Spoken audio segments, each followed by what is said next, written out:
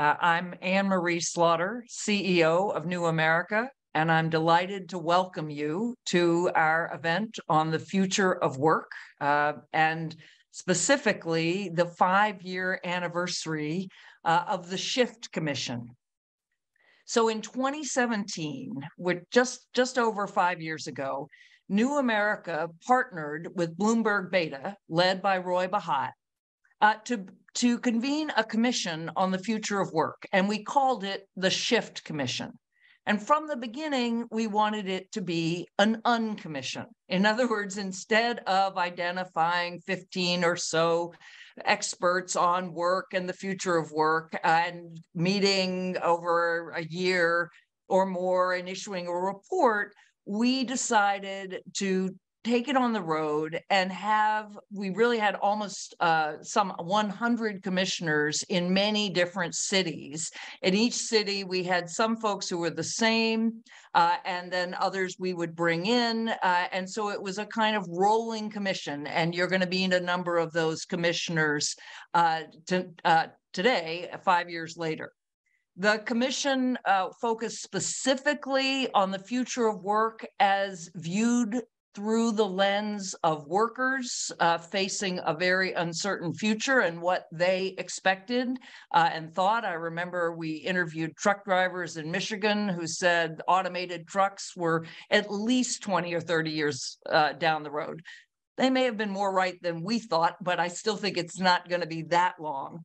Uh, the commission was led by Kristin Sharp, who ran a Future of Work project at New America then, and I hope she's listening. She was indispensable uh, to the process, uh, and uh, as well as Roy Bahat uh, and me. And uh, our commissioners came from business, technology, government, policy, academia, and from various professions we then published a report uh, at the end of really almost a year of conversation and meetings across the country. Uh, and we summarized the research and identified four key insights uh, shaping the future of work, workers, and technology. That was the formal title, the Shift Commission on Work, Workers, and Technology.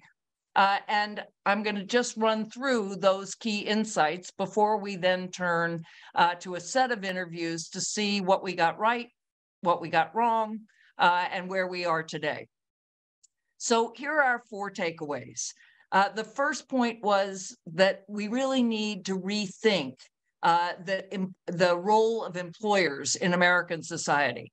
Uh, you know, employers are how you got your health insurance. They have how you got your pension. There was a kind of a lifelong commitment, or at least a good long term uh, commitment to stability. If that's no longer true, then what replaces that? And we looked at networks of small businesses. We looked at guilds, worker associations, uh, and also things like entrepreneurship training. And tried to imagine new ways uh, to administer worker benefits, which we are still definitely in the midst of. The second big point we came away with was that the future of work failed to align neatly with traditional political coalitions. The idea, you know, labor on the left, business on the right, no, it was much more complicated than that, particularly when you looked at the effects of technology. Uh, and really, right now, as we look at chat gpt and the future of ai we suddenly realize that actually many more white collar jobs may be automated before blue collar jobs. That's just one example of the ways in which uh, this did not actually track with where you might think political positions are the third point, uh, one that I'm particularly fond of myself, is that we must focus on older workers. Uh, I'm somebody who's written a lot about if you take time out for children, maybe you don't stop working, but you work in a different way, uh, then you've still got a lot of career left at the other end. Uh, and we said, look, it's going to be very important uh, to engage those older workers as a very, uh, they are, they were the fastest growing segment of the workforce. And finally, uh, the future of work will shape cities and regions. Now, we certainly did not imagine the pandemic, uh, but the pandemic and remote work, the very screens we are all now on, uh, have made this point ever more powerful. Uh, that depending on what kinds of jobs you can attract, you can bring certain kinds uh, of workers, and it's going to be particularly important to be able to do this in non-coastal areas and smaller uh, smaller towns. At the time, long distance moves were in decline. Uh, I think that is changing, but we can ask our commissioners that point. So those four big points uh, were our were our major findings in 2017, 2018. Uh, today, we are going to uh, be, as I said, asking some of our former commissioners where we are uh, now. Um, I just want to talk a little bit then about the the what's happened over those past five years. Uh, we that uh, those findings informed a lot of research uh, by Bloomberg Beta, by a number of our, our commissioners, uh, and by New America. Brigid Schulte and the Better Life Lab at New America uh, built off a set of extensive interviews, ours and, and subsequent ones, and surveys to dig into the questions of work and well-being. Uh, and Bridget is now writing a bo book on American karoshi. Karoshi is the Japanese term for death by overwork, uh, something that Japan may be known for, but we are not strangers to. Uh, and we also kicked off a partnership with the World Economic Forum uh, and indeed, I'm about to introduce uh, my colleague, uh, Shalin Jyotishi. Uh, so we're looking at how workplace technology can make jobs better rather than, than worse. Uh, so that is what came out uh, of our, our over the over the past three to four years. Uh, we decided that as the five year anniversary came up that we wanted to take another look uh, and Roy Bahat uh, reached out and suggested that we do this event. Uh, and with his help, we have organized it. Uh, and indeed, we are very grateful uh, to Bloomberg Beta for their initial support and for, for working with us now. Unfortunately, Roy could not make it due to a family emergency, and he's very sorry not to be here. Uh, and we are very sorry not to have him, but we wanted to go ahead. So I'm going to turn now to a video uh, from Roy, and then I will introduce Shalin Jyotishi, uh, who will kick us off with our first interview. Hi, everyone. I wish I were there with all of you today. Uh, and it turns out that even for those of us who really specialize in understanding work, we struggle with the boundaries of life and work. And a good friend, uh, has left us, and I'm choosing today to be in my grief and with our friends and our family.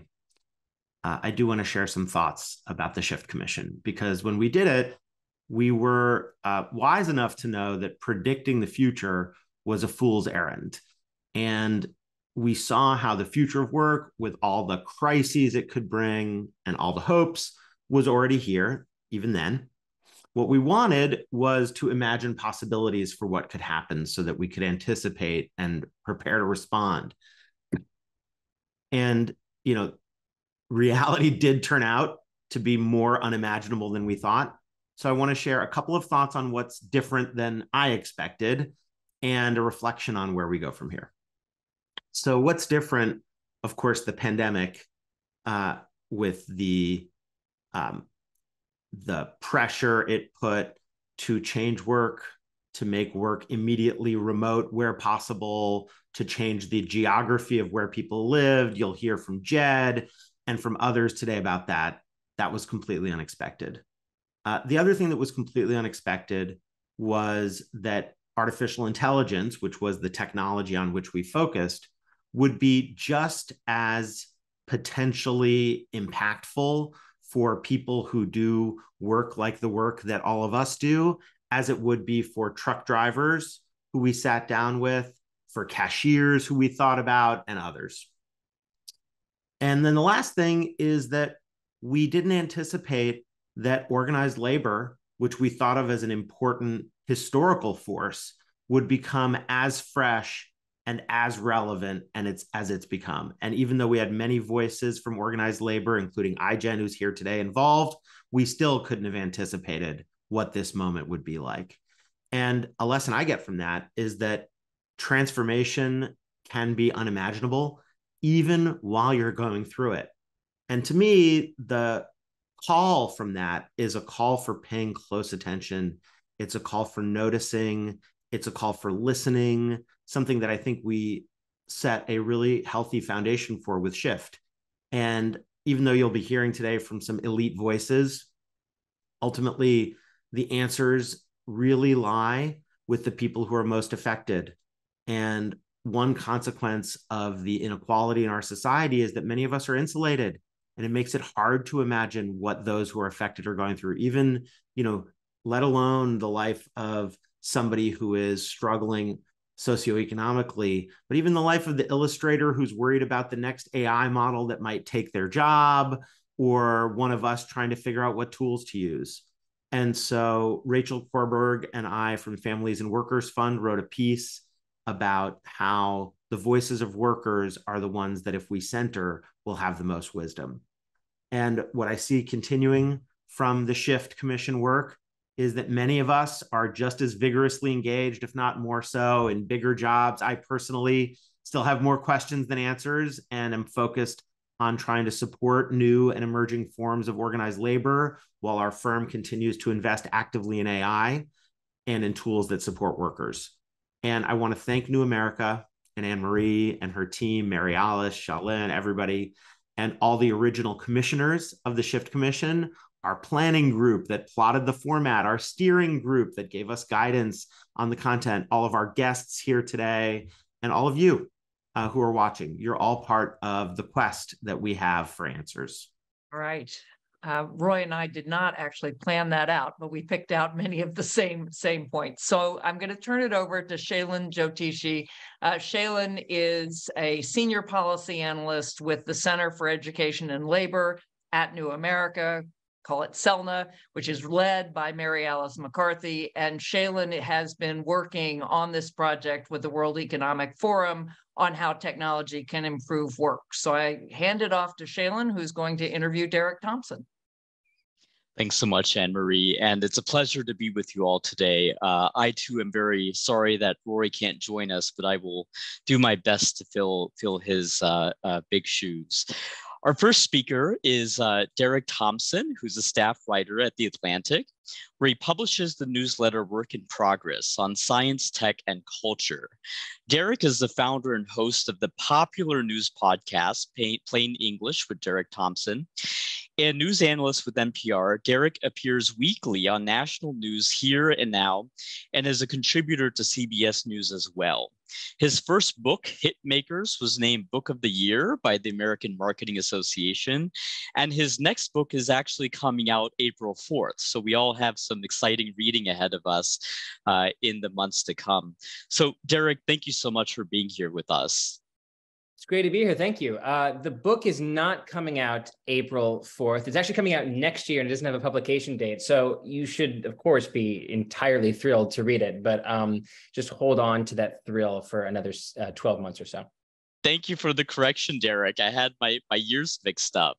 Um, so speaking of which derek so you were involved with the shift commission as a commissioner yourself and you know it's clear that um, five years past, the public is still interested in, in coverage of the changing world of work. A lot of your writing at the Atlantic and other venues. What have we learned from the pandemic that journalists and other sources should carry with them in the future as they cover the future of work?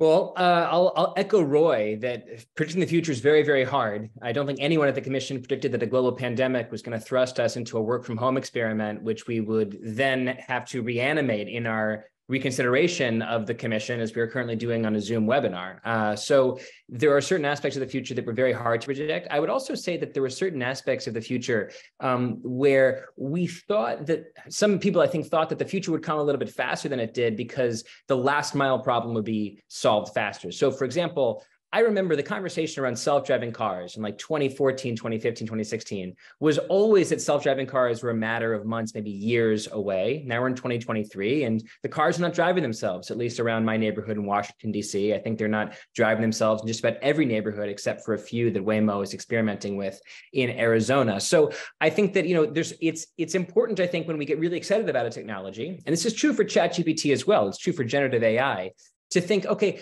don't go so far anticipating how that last mile problem is going to be solved. Sometimes it takes a lot more compute or a lot more genius, a lot more something, breakthrough intelligence, um, to take something that's 95% complete and make it truly 100% complete. So one of the things that I guess I think about uh, lastly, uh, most is when you look at the, the work from home phenomenon or the remote work phenomenon, especially in a city like Washington, D.C., which I believe where I live and I think has the highest rate of uh, remote workers in the country.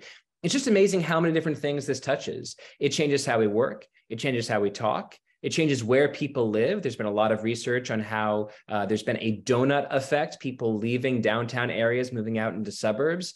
And then I think goes to the fact that technology, these kind of technologies are, they're always like, a um, like a like a cannonball drops into water like the ripple effects go very very wide and it can be hard to predict exactly what they're going to be yeah, no, absolutely. And it's been interesting to think about the the ways in which technology hype cycles have been covered and how that affects his uh, uh, public perception of, of tech and society. So really appreciate those uh, nuanced takes there. Well, Derek, I'll, I'll, ask sort of the flip side of the question. So looking back to the Shift Commission conversation five years ago, um, what what didn't you see coming that that we've experienced you alluded to some of that with the pandemic but were there other things maybe specific to how the media has interacted with with the future of work uh, and how it shaped conversations in the media that um, you just really didn't see yeah, I do think that sometimes the media can get locked into one of two different archetypes. One archetype is the boosters, and the other archetype is the Luddites. And again, these are archetypes. I'm not trying to describe every single journalist out there, but I think those are two archetypes that are easily locked into. And on the booster side, you know, one could say, well, you look at self-driving cars, you look at automated equipment and maybe fast food restaurants. You look at emerging technology right now, like ChatGPT, and you get really, really excited about your predictions that it's going to replace work, it's going to replace illustrators, uh, it'll replace. I saw someone talking about how easily it was, how easy it was to do consulting work with Bing Chat. You could just, you know, if you're uh, consulting for an agriculture AI company, essentially say, hey, compare the um, consequences of, uh, of of farming AI for the U.S. versus China it can create a beautiful table in 45 seconds for some consulting gigs. That's a week or several weeks of work. So you can get really excited about accelerating into a future that way. Um, and you want to always pull back and think, what's going to slow this down?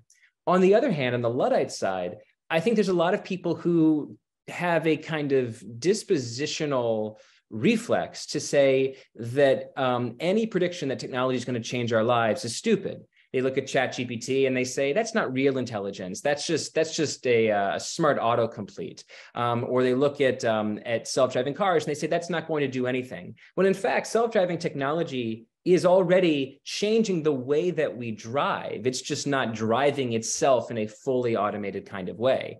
Um, and so I try to plot a middle path there. Um, I would say that I think a lot of people would be shocked, not only from two years ago at the height of the pandemic, but also further back when we um, met with the commission. The unemployment rate right now is lower than any month since 1969. It's very difficult, at least, to look at that particular statistic and say, aha, there we see the displacing effects of technology. Now, the unemployment rate is, is, is lower than it's been in 60 years. That's, that's, that's, ex- that's extraordinary. So I, I think it's I think it's always good to have a curious approach to the effects of technology on changing the way that we work, how we work, where we work, um, while also being humble about the fact that you know systems are resilient, right? The labor force is resilient. Unemployment um, has not skyrocketed in the face um, of of of better AI and and and better certain forms of technology. It's it's in fact very very low. Yeah, no, absolutely.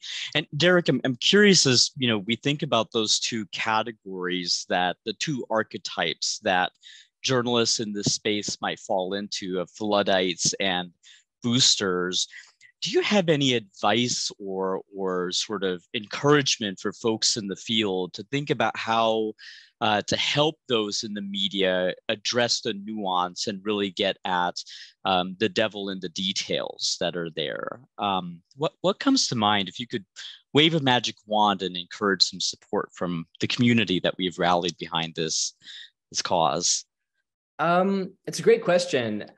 My, one of my answers might be might be something like, remember how interesting this is.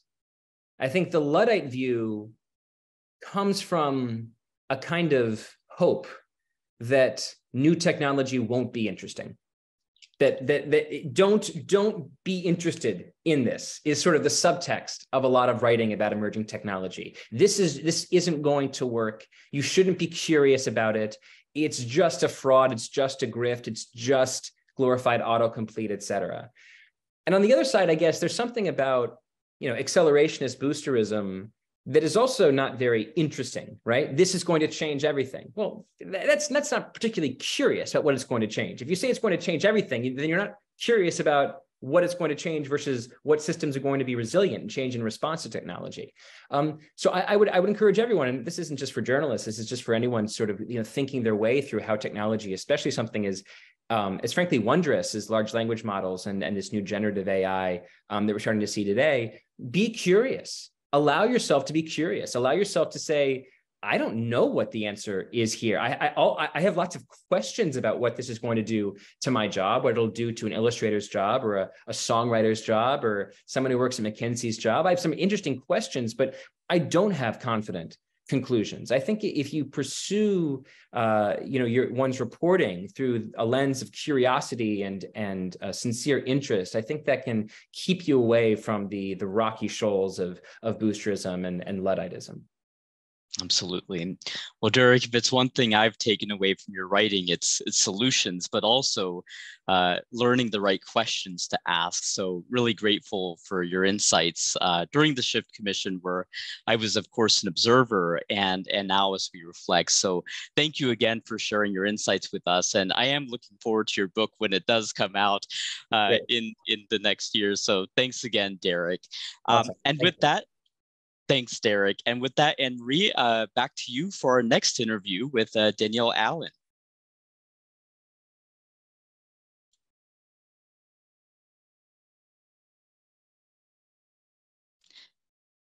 It looks like you're on mute, Anne-Marie. Yeah, just waiting for Danielle to join us here. There she is. All right, we are we are doing this uh, in very much the way we did the shift commission quickly and with lots of, of different folks. So uh, danielle hello welcome. Nice to see uh, you it's my it's my real pleasure uh, to introduce Danielle Allen, uh, who she has a very long formal title, the James Bryant Conant University Professor uh, at Harvard University, uh, and she leads uh, the Safra Center on Ethics. Uh, really, the most important credential is she has just joined the New America Board, which I'm thrilled to announce. Uh, but also, she ran to be the Democratic candidate for governor in Massachusetts uh, in this most uh, most recent round. Uh, and so, Danielle, I'm going to start um, by asking you, as somebody who has long studied democracy and what strengthens democracy and, and civic engagement, what did you learn on the campaign trail about the future of work, how it affects what people are thinking, how prominent it was at that retail level of American politics? Because few of us really have, have seen that level of American politics. Oh, sure, Anne-Marie, happy to. That's an important question. Let me just start though by thanking you for taking the time to revisit the commission report. Um, and you're right to sort of stop and take a look because things are changing so rapidly. I appreciated um, the comment earlier that one of the things that people weren't predicting was the return of union unionization efforts, union power. And I've been out of the office I'm now sitting in for you know almost two years at this point, and I just came back for this. And lo and behold, I lent it to some graduate students while I was away. And so, what is in here? I don't know if you can see this. It's um picket picket line graduate students wow. unionizing at Harvard. I've got a whole box of t-shirts in here. So it turns out my office was being used for union organizing uh, while I was away. So uh, it is real, right? The sort of notion that we need empowerment in the workplace, that people who have been in precarious jobs need to reclaim their voices. I heard that certainly um, on the campaign trail as well. Um, there were lots of hotel workers on strike uh, while I was campaigning. There were nurses on strike while I was campaigning. And over and over again, they were making the same point. The corporations that we work for, for example, with the the nurses case had literally made billions um, in the pandemic, and that wasn't being returned to wages for workers or the quality of jobs. So that inequity in the sort of basic structure of the economy was front and center in my experience campaigning. It seemed to me that the thing that we really need to focus on is a question of how to have the right uh, sort of structures for negotiation around creation of good jobs um, in times of great uncertainty. So the question isn't just about jobs, right? It's about the quality of the job. Um, and the quality of the job is, of course, about wages. Can you have a family sustaining um, compensation level? Um, but it's also about whether or not there are actually sort of pathways of advancement. Again, if you look at the healthcare industry, there's a sort of real challenge there of there not being kind of scaffolded ways of moving up. And then lastly, there's a real question about time. We often talk about work life balance, but I think we really need to talk about work life civic balance. So at the end of the day, I think the goal is an empowering economy. That means to empower people in the fulsomeness of their lives, including as civic agents. So a lot of work to do, but but those are some of the conversations that I heard um, on the campaign trail. That that is uh, that's really interesting, and I love the concept of work life civic balance. That the idea that we actually need to make time for to be citizens, to be active participants uh, in our political system also the, the idea of what is a good job i do think is something we did not talk about enough and we are all now thinking very hard about. New america just issued a report uh, again through the better life lab about how employers uh, can make jobs better. Uh, and it's not just about you know are you coming back to the office? Are you working remotely? It's a whole lot of things that make a job uh, fulfilling that give you a path, professional development, a lot of things that, frankly, when I started as a leader, certainly of, of a nonprofit organization, I would not have thought were part of my obligation, management's obligation uh, to staff. It was mostly, you know, straight benefits and and uh, salaries. So I, I also want to ask you about political realignment because, uh, as I said, one of the things we found even five years ago was this traditional Democrats are labor and Republicans are management uh, um, definitely wasn't working. How did you see th- those issues? And were you trying to convince uh, dem- uh, voters that might have been Republican once and were now Democrats, or Democrats who had turned Republican? How how did that crosscut uh, your experience? Well, I mean, I think you're right that we are in a moment where there is real realignment. I think about Wes Moore's campaign in Maryland, where he won, uh, ran rather and won on the platform of work, wages, and wealth that's a really yeah. interesting fusion of what had been Democratic and Republican paradigms in effect. Um, but that paradigm really mattered, particularly from the point of view of thinking about things like racial equity. You know, here in Massachusetts, we have the biggest black-white wealth gap in the country. And a lot of people have come to recognize that um, at the end of the day, if you're wanting to establish a sort of foundation for flourishing for individuals, for families, for communities, that is as much about building up assets over time. It's about wealth as well as about work and wages. So I think that has allowed for a lot of new um, sort of thinking about, you know, community wealth building, place-based economies. Um, how do we think about even, you know, issues of property tax, how those are factoring into, you know, who's benefiting from tax systems and the like. Um, so there's a lot of innovation, um, and it's it's a good time politically in that regard because I think you can make real progress. Industrial policy would be another example um, where you know there's a Democratic version and a Republican version, but but basically, in some sense, both sides are sort of interested in industrial policy for the first time in a long time. Yes, I'm actually sitting in Europe at the moment, and we've been talking to to uh, members of the European Union who are none too thrilled about the Inflation Reduction Act and the Buy American provisions, right? I mean, it's it is a new industrial policy for us, and you know we look at China and, and frankly Europe and say other countries have been doing it, but it's yep. it, it, it, it's not so long ago that we were you know the apostles of, of free trade and globalization, uh, and in ways that that that have really changed. That's interesting. The wages, work, and wealth, and it. You also think about George Bush and the ownership economy. That was mm-hmm. about you know making sure everybody had a stake in the stock market.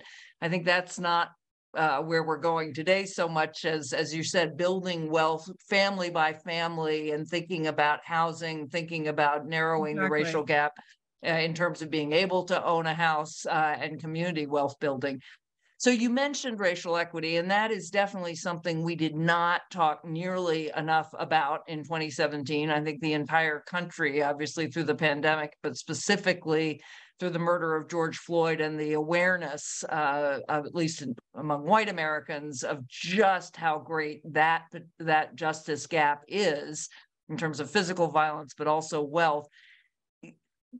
I'd love to hear your thoughts on how that intersects with the union movement. New America has also been unionized since the Shift Commission. We have New America United. But one of the things we've seen, you know, unions were not good to African Americans. They weren't good to women either, but particularly it was, it's not necessarily a way for to achieve good jobs uh, for people of color in this country. And do, does that changing? Do you is there something we need to do there when we think about new modes of labor or, or labor power? Well, that there is so much in that, Anne Marie. You've given me so many different things I want to talk about. My it's be hard selecting. Um, let me just start with the last point. Um, for sure, I mean, I think this is one of the most important messages there can be about unions in 2023. They've come a long way. Um, there has been a lot of diversification there's a lot of commitment across an, any number of different unions to integrity, um, to tackling, for example, historical problems of or reputations for corruption. Now, I don't want to say that that change has been accomplished everywhere, um, but there has truly been meaningful change. The carpenters here in New England um, have done a great job. I sat with them and they had a lot to say about the way they were scheduling childcare access for really early hours. If you're a construction worker, you're showing up at the job site at 5 a.m. If you're a woman, what are you doing for childcare at 4 a.m. in the morning, literally? So they were thinking through questions like that. And you've got SEIU or Unite here, for example, um, also really diverse um, from a workforce point of view. And the most interesting thing about connecting in particular with those really diverse unions was how much democracy questions matter to them.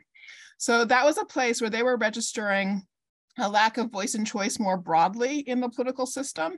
Um, so there's a real interesting, I think, opportunity as well to think about the role of unions in helping us to renovate our democracy more broadly, make sure it's fully representative, fully responsive, um, and the like. That is great. So that's a you know practicing democracy. It's not going to be on the shop floor exactly, where wherever you are. And the point about uh, as we we pour money into many communities for infrastructure that eh, there's a real shortage of the uh, of workers in those trades and mm-hmm. so to expand that workforce absolutely you want women you want uh, caregivers in general uh, you're going to have to start providing very different kinds of benefits uh, yeah. as as a union and that's also a way of building up a much more holistic uh, sense i think of of social needs well, those, uh, let me give you just a chance to, to say anything that I didn't ask you about that you particularly want to reflect on as you look forward, both back to work five years ago, but maybe looking forward to five years from now. Well, let me just make one point about technology, since I know that that is also so important to this conversation. The worry about technology is about human replacing technologies it's really important to say that there is a completely different paradigm for technological development that's possible, which is about human complementing technologies, human complementing AI. Zoom is a great example. When we're able to see each other across a great distance in this fashion, that's not replacing any existing human capability. It's expanding and building on our human capabilities. And I do believe that if we could actually um, figure out how to steer technological development. Um, you know, we don't let, you know, drug development go unregulated, et cetera. If we could figure out how to steer and govern emerging technologies uh, in a more intentional way to be democracy supportive and to be empowering of the economy and of an empowering economy, I think there's a lot that we could do. And last point I'll make on that front too is, um, you know, we also have a problem right? And this is particularly relates to um, opportunities to address racial equity um, with the gap between the credential requirements for jobs and the credentials that are currently available in the credentialing system of our universities, colleges, community colleges, and the like we have a lot of qualified, skilled, able, competent people out there who can't get jobs just because of that mismatch. And that's another place actually where technology could probably assist us in accelerating kind of micro credentialing sort of landscape that gets people access points to job opportunities and then helps them have a pathway of like stackable credentials that they can move forward with. So I'll throw those two things out there for folks to chew on, things I hope will be bigger in the conversation five years from now. Absolutely. Well, thank you, Danielle Allen. I should have also mentioned Danielle's last book is Democracy, most recent, not last, most recent book is uh, Democracy in the Time of COVID, uh, and I highly recommend it. And Danielle, thanks so much for joining us. Thank you, Anne Marie. Great to be with you. Take good care. Always. Shalin, back to you. Thanks so much, Anne Marie. Uh, fantastic comments from Danielle and uh, the the comments about uh, workplace technology being complementary to the human being is just the entire ethos of our partnership with the World Economic Forum. So, uh, gosh, I found that so validating. Um, our next speaker is uh, none other than Jed Kolko, who is the Undersecretary for Economic Affairs in the Department of Commerce. So, really excited to call Jed up and we'll there he is. Great, wonderful. so great to have you with us, Jed. Uh, Jed was a shift commissioner, and uh, in his current position, uh, Jed coordinates economic analysis for the Commerce Department and provides the direction and oversight for the Census Bureau, the Bureau of Economic Analysis, and the chief economist in the Office of the Undersecretary for Economic Affairs, among many other distinguished roles. Jed was previously chief economist at Indeed and worked for uh, real estate company Trulia, among other great hats. So uh, We're so uh, uh, honored to have your perspective uh, with us today about the future of work and its influence and effect on the economy. So thank you very much for being with us.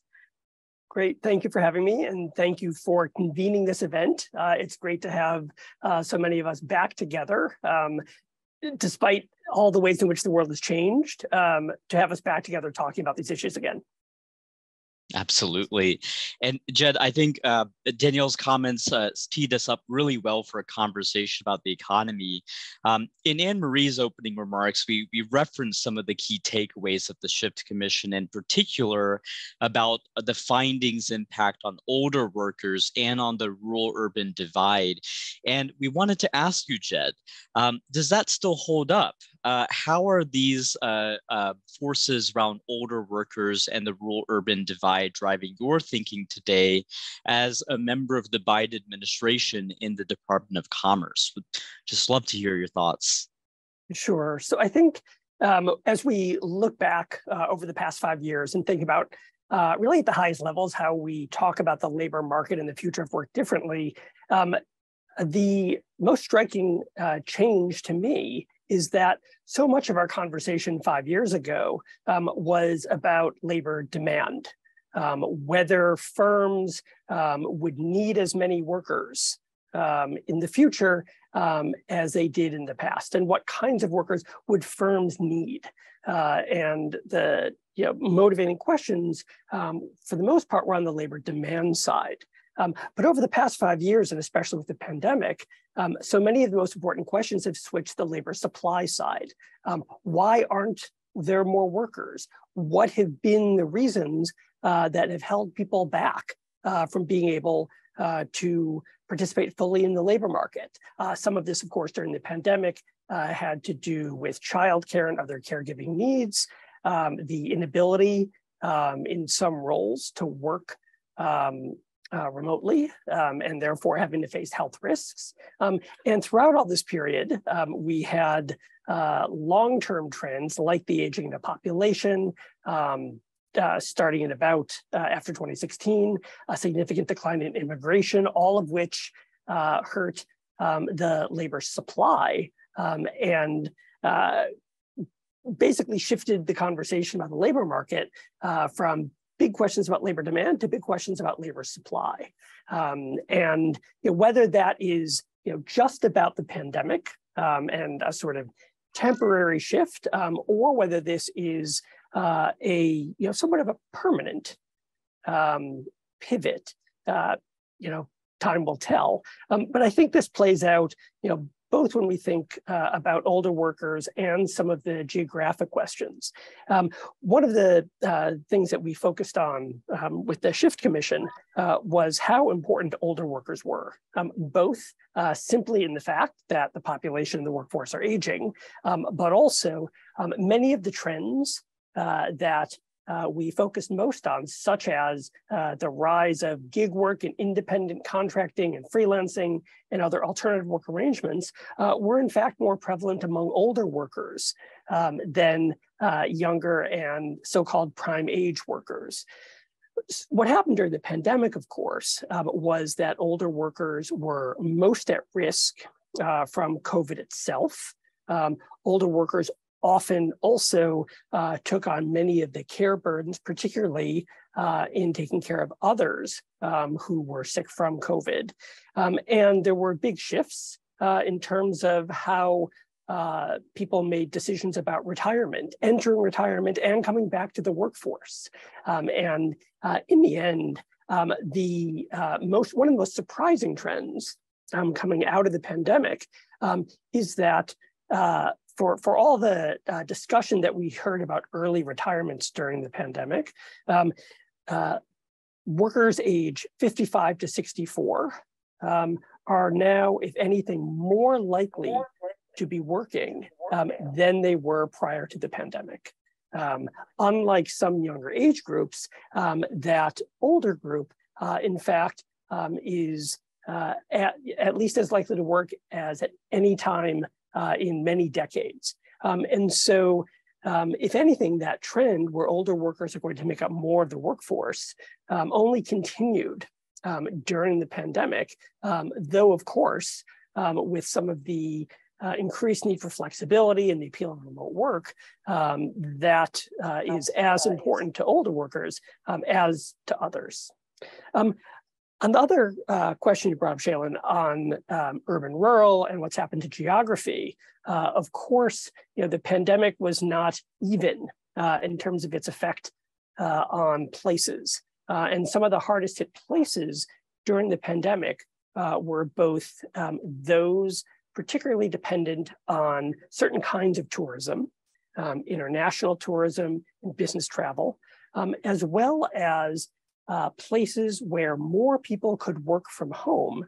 Um, and therefore, we saw the closure of lots of local service businesses, uh, particularly in downtowns and other office districts, uh, that depended on people coming into the office.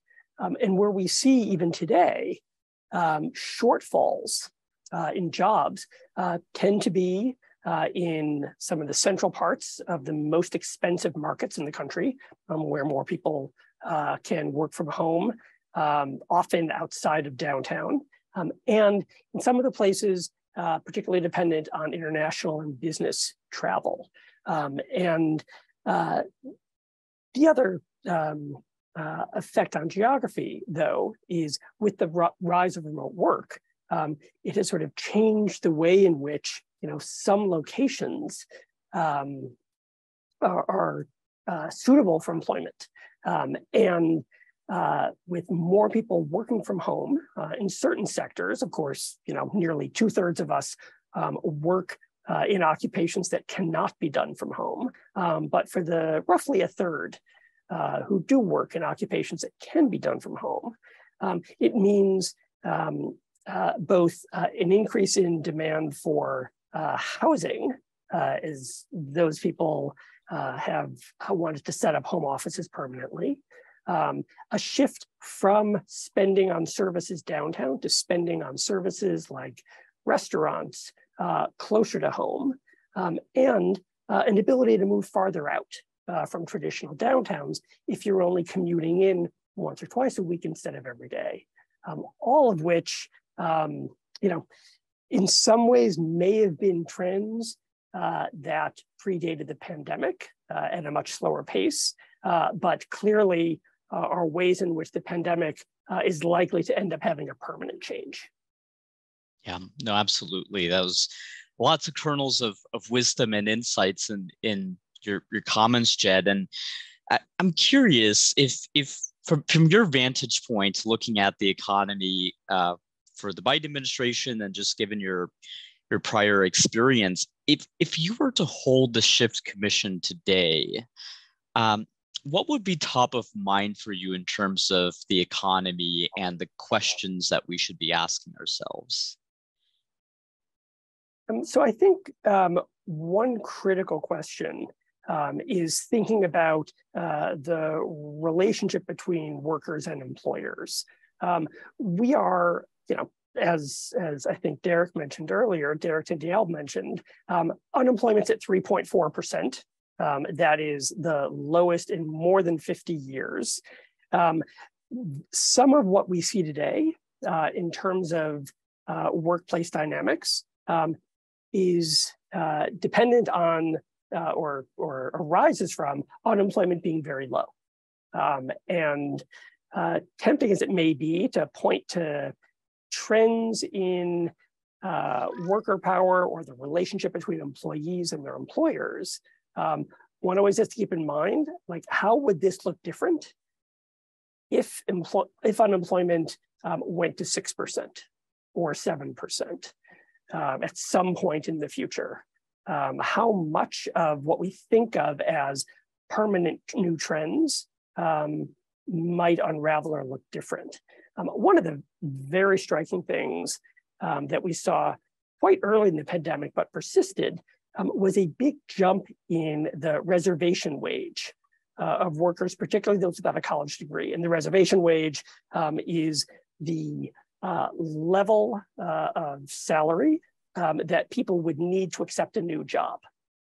Um, that jumped, particularly for uh, workers without a college degree um, early on in the pandemic uh, and stayed high.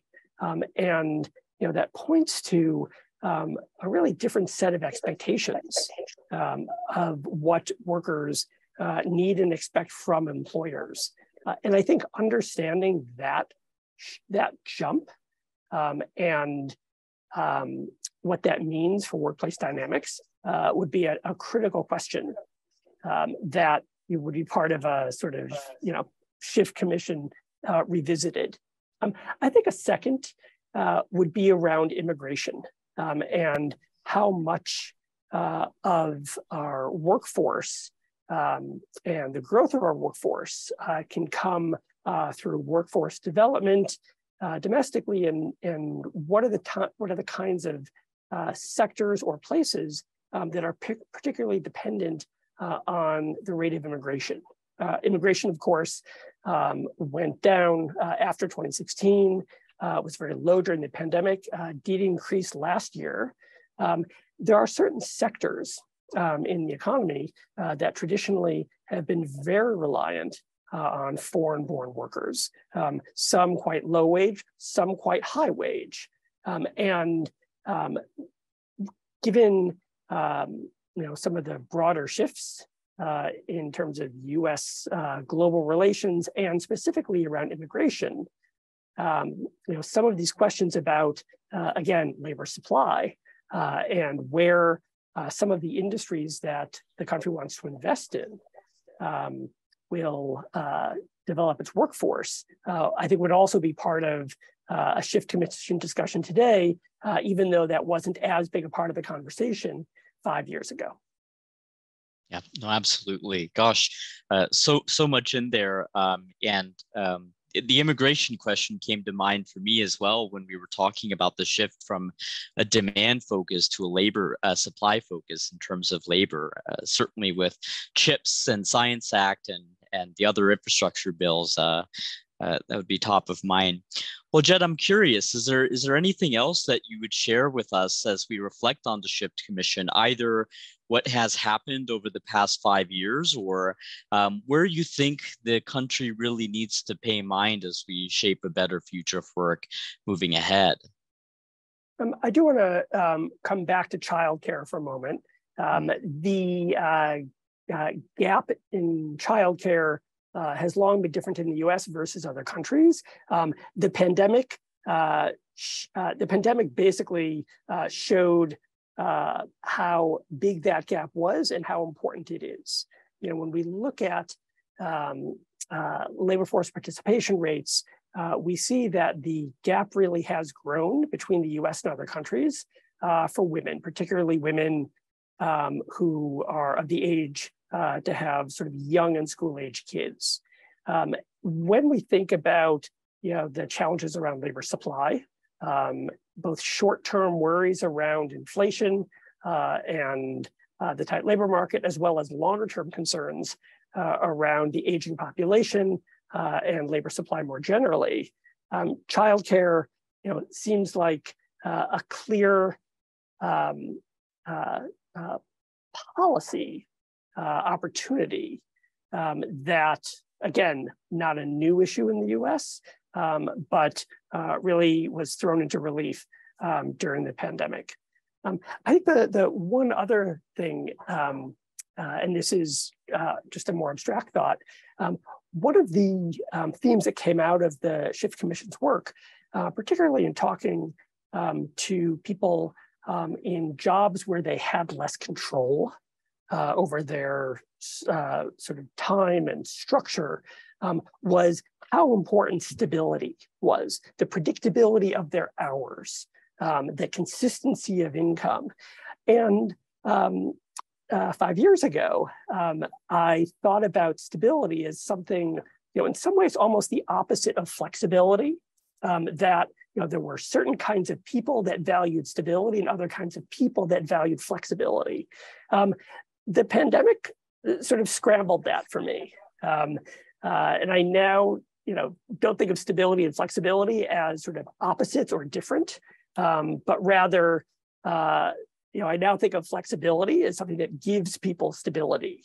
Um, and uh, just thinking about how people, um, uh, both in you know high wage jobs that could be done remotely, um, as well as people in jobs that had to be in person, um, all value different kinds of flexibility um, during the pandemic and yearn for stability um, as our lives were upended, um, that you know I, I no longer think of those as sort of different needs um, that sort of matter for different people, um, but rather you know is, is part of um, what people need um, from their work lives.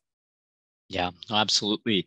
Uh, very relevant for the job quality movement and conversation that we've all been having, and including the good jobs principles that that Commerce put out uh, last year. So that was fan- fantastic insights, Jed. Thank you so much for being here with us. Uh, lots of lots of things for us to think about moving forward. Um, so we'll be moving on to our next speaker. Uh, again, a, a rapid set of interviews here. And I just wanted to send a reminder out to the folks in the audience. Please do uh, start submitting your questions to our uh, Slido chat. Uh, and you can engage with us on Twitter using hashtag revisiting the future of work. Uh, we're at New America and our Twitter handles for our speakers are also listed on our on our website. So uh, with that, Anne Marie, uh, back to you. Thanks, Shalin. Uh, this is like tossing a ball back and forth virtually. uh, so it's my pleasure to turn to our next interview with Ai-jen Poo. And before I, I introduce Ai-jen, I have to say uh, Jed just essentially served it up by pointing out, uh, talk, th- sort of thinking about childcare workers and how critically important childcare workers are to caregiver uh, participation in the workforce. Still mostly women, but um, you know, there, I think uh, our Better Life Lab has said there's some 73% of Americans who have some care obligation. That doesn't mean mean full time. Uh, so Ai-jen was one of our original commissioners. Ai-jen is the uh, president of the National Domestic Workers Coalition and the founder of Caring Across Generations. Uh, I always introduce her as the person who really has put care on the political map. Uh, when, you know, 10 years ago, nobody was talking about care except for a handful of, of feminist economists uh, and Ai-jen, her book, uh, The Age of Dignity. And Ai-jen, when did it was published? 2014? 2015. 2015. Uh, her book, The Age of Dignity, talks about an infrastructure of care. Uh, those are all things that are now, you know, actively on the political agenda. We did not get Build Back Better, that part of it, uh, but not for lack of trying. Uh, and we are also at a moment where, as Jed reminds us, we've got extremely low unemployment. We have tremendous care shortages, uh, but they have not translated into really great jobs for caregivers. so I think that's fair, fair to say. Although, uh, really, the National Domestic Workers Coalition has has done a great deal and is doing a great deal to change that. Um, Ai-jen, I want, I guess the first thing I'm just going to ask you a general question. I was sort of as you think back to 2017, pre-pandemic, uh, and all the changes that have happened since. Um, what are the are the, are there things now that surprise you, uh, particularly in the care arena, in terms of the the uh, quality of jobs for care workers, the unionization, uh, whatever it is you want to open us up with? Um, well, first of all, thanks so much for having us and for revisiting this conversation. And I must say that if you hadn't been one of the leaders of the Shift Commission, I'm not sure we would have been talking about care five years ago when we were. Um, you have been such an incredible guide, holding the lantern for all of us to be able to see all the parts of the economy that we need to see. And so just thank you for your leadership. Um, and I will say that I have been surprised at the extent of progress we've been able to make in the last five years on care. I know it sounds like an optimistic stance given the depth of crisis that we're dealing with, but I, you know, what we're dealing with when it comes to care is just such deeply seated, deeply held cultural norms and beliefs that have been reinforced by policy, by media, by culture, and and all of a sudden, in the pandemic, this deeply held belief that care is a personal responsibility. That if we cannot figure out how to afford care or manage it, it's a personal failure, right? That we don't have the right job, or we didn't save enough, or we didn't buy the right insurance, or what have you. That was sort of the dominant point of view. And I think what the pandemic did was help us all collectively see that we can be doing everything in our power right? And it's still not enough because care is a shared social responsibility and really at the heart and foundation of, of our economy. And so the patchwork programs and um, and solutions that we had in place all of a sudden when the bottom dropped out we realized just how essential they are and so we've been able to make a huge amount of progress. And I just want to name that we were able to pass through the House of Representatives a bill that included almost three quarters of a trillion dollars in investments in the care economy. And it would have been the single largest investment in the creation of good jobs that would directly benefit women and women of color in the history of the United States. So that passed. Now we came one United States senator short of having it become law. But to me, that is a sign of rising, that this issue is emerging as a top pol- economic policy priority. And we heard it from the researcher at the, the Department of Commerce, right? This is not the women's agenda. This is the economic agenda. And to me, that is very hopeful. It's long overdue, and I think a huge opening. I think that is the right way to see it. And when you think about how long, you know, major legislation takes. I mean, just think about Obamacare, you know, three presidents, four presidents trying to get it through. So you're right. It came, it came very close. And that would have been uh, unimaginable, certainly say in 2010 or, or 2015. So part of the uh, the the other thing that that we are seeing, thanks to in, in large part to your efforts, is the unionization of care workers, and I'd love to hear your take on where we are with that, uh, the difference that it makes, and whether those the uh, caregiving caregiver unions are in fact making care that kind of good job that we need, not just a job, because but a, a really good job. Well, I would say that we have a long way to go uh, to making these jobs good jobs, and they deserve to be. There is no read; these are jobs of the future, and as our friend Larry Katz often says, they're actually triple dignity jobs because when you improve the dignity of these jobs and make them living wage jobs with benefits and real economic security, it not only benefits the worker and her family, but it also benefits the person who's being cared for and the family caregiver who's able to then work and participate in all sectors of the labor market because their loved ones are cared for. So this triple dignity impact of these jobs becoming good jobs i just wanted to name and I would say that the average care worker across the care economy, whether child care or home health care, for example, still earns less than $14 per hour.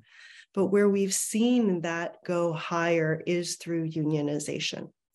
And I do believe that that has been the way it's organized groups of workers applying whatever power they can aggregate to pushing for more funding to be made available for these wages to increase, for training to be established. And I will say that Washington State, um, I've worked very closely with your team at New America to really tell the story of Washington State as a model because it is so extraordinary. Washington State has a home care training fund that trains more than 45,000 home care workers per year. It's the second largest educational institution in the state after the University of Washington. And the starting wages for a home care worker in Washington state are above $20 an hour. And everybody has health care and retirement benefits. Um, and, and there's an investment in the quality of care and the quality of jobs at equal value. And it has made Washington state one of the most prepared state for the growing demand um, for health, home health care in this country. And so it is, it is clear, it's been proven that unionization and the creation of good jobs works and it can be done. And, um, and so I I feel like it's one of these areas of policy where there's not a lot of mysteries. Like we actually know what can have an impact and and we should go for it. Yeah. Um it it's really it, it, it's it also directly affects the quality of care in the ways that it reduces the stress on the caregiver. Uh, our early and elementary education program had a report now, probably five or six years ago, but looking at childcare workers who are making so little money that they were worried about their own health care, about being, you know, caring for their own children, just about paying the rent because it was paid so little. And of course, that translates, as we all know, as parents or taking care of anyone. If you're stressed, you know, you that that is is quickly uh, communicated through. So it, just that that degree of security has that impact. And I love the the triple dignity jobs. It's it's a wonderful way to think about it. Um, I'd like to ask about how you think technology intersects with caregiving. And you said, you know, these are human jobs, these are jobs we will need even more of. But are there ways that that technology can make these better jobs? This is again something that Shalin is working on. Uh, absolutely, and um, and I just I forgot to mention the earlier example of Washington State is all SEIU, the Service Employees International Union, really just cutting edge work on care jobs. Um, and back to the the technology point, I want to pick up where Danielle left off, which is to say that these jobs have been incredibly difficult, physically, emotionally, and otherwise. And I do believe there's a huge role for technology to complement the role that humans play um, in our care infrastructure and to make some of the rote tasks and the more physical tasks much, much more um, sustainable, frankly. I mean, if you've ever seen a Hoyer lift, it looks like something straight out of the Flintstones. Like I have no idea where technology has been to help home care workers in terms of some of the more physically challenging parts, which actually have the impact of freeing up those workers to provide some of the more human and emotionally um, intensive aspects of the work. And my colleague Pollock took a group of care workers through a whole learning series about technology and robotics and artificial intelligence. And the workers themselves were so clear. They were not at all threatened by um, robotics or artificial intelligence because they know the unique human value um, of their work. That there's that, that what they provide to the people that they care for is irreplaceable right at least now based off of what we know from the technology. And that if they could be freed up to focus there it could be very powerful it's like thinking about doctors if they had to spend less time or anybody in the healthcare professions less time filling out the forms less time on all that work that that that is as you say rote needs to be done. Uh, but but to to allow them to spend more time actually asking patients you know about other things in their lives than than the immediate uh, presentation so Ai-jen, thank you. I want to ask you one final question. If you were you were a commissioner uh, with us, and if you were setting up a shift commission today, uh, thinking particularly about care workers, but even more broadly, uh, are there uh, one or two specific questions you would ask now or want us to think about now as we look forward to the next five years?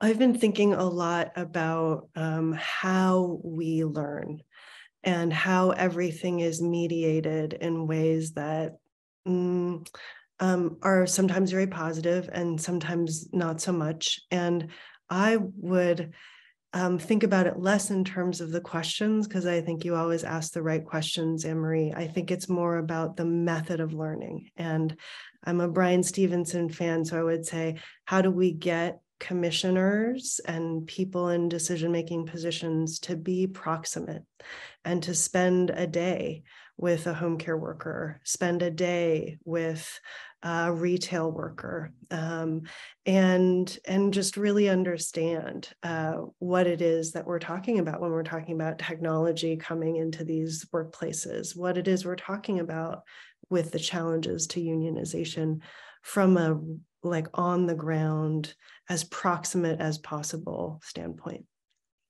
Wonderful. Thank you. Ai-jen Poo, thanks so much. Uh, and Shalin, back to you.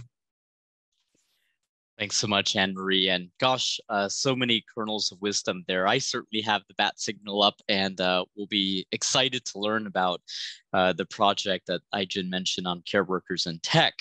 Well, we will be shifting gears as we reflect on the Shift Commission. For our next segment on the future of work and technology, we will have two speakers. So I am so thrilled to uh, introduce uh, Bethany Drake Maples, who's a researcher at Stanford University and founder of Starsight AI. And joining Bethany is Pamela Mishkin, who's a researcher at OpenAI. Thank you both for joining us.